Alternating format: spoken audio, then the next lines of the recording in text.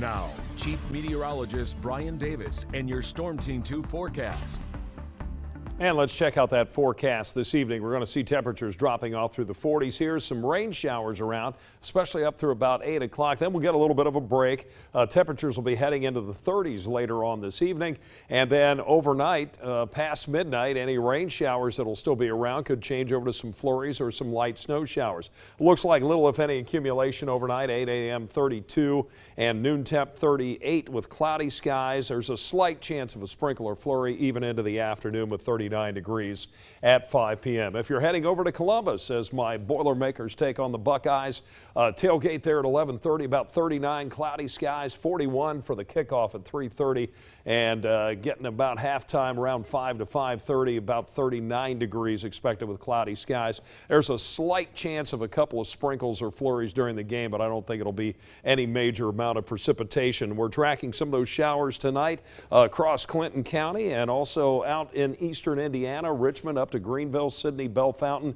Uh, seeing some of those rain showers tonight, all swinging eastward as we go through time here. And these showers will be in the form of rain. We don't have to worry about any snow this evening, but farther north and west, you can see some blue beginning to show up in northern Indiana, back out into northern Illinois, and some of those snow showers and flurries will swing across the area later tonight and tomorrow. Maybe a spot or two picks up a light dusting on some of the grass surfaces, maybe a rooftop, but don't think we have to worry about any problems on the roads, especially with temperatures just getting down close to the freezing mark late tonight. And we've uh, just finally now started to get in on some of that colder air. High temperatures Saturday around 40 degrees over most of the Miami Valley. Over the next 10 days, another chilly day on Sunday, also Monday, then a quick warm up Wednesday before we see some more cold air come back after that. Peak wind gusts today 44, another windy day here around the Miami Valley. 45 Indianapolis, 40 over at Columbus, 41 at Mansfield for the top wind speeds.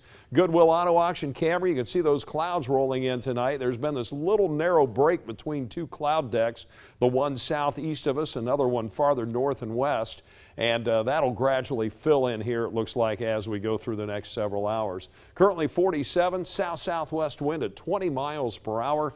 Temperatures tonight dropping off into the mid to upper 40s at all of our locations. Springfield right now 45, Xenia 44 degrees. Our future track forecast, you can see those showers swing through, then a little break in the action late evening, and then overnight, a few of those snow showers and flurries could uh, drift through the area, and still a slight chance of some sprinkles or flurries tomorrow afternoon.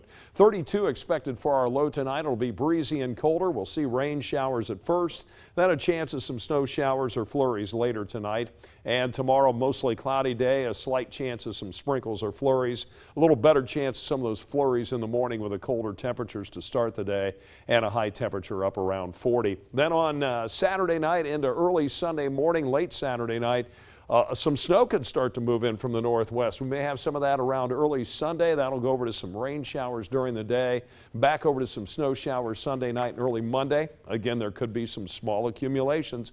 We'll watch for that potential. You want to stay tuned to the latest forecast for uh, Saturday evening. Carly will have that for you. And then uh, Tuesday, 54 for the high, uh, morning low of 28 after those chances of morning flurries Monday. Wednesday, we'll see a chance of late day rain, but warming up quickly into the 60s, but then cooling off on Thursday. Some early day showers and a high only around 50 on Friday. Brooke?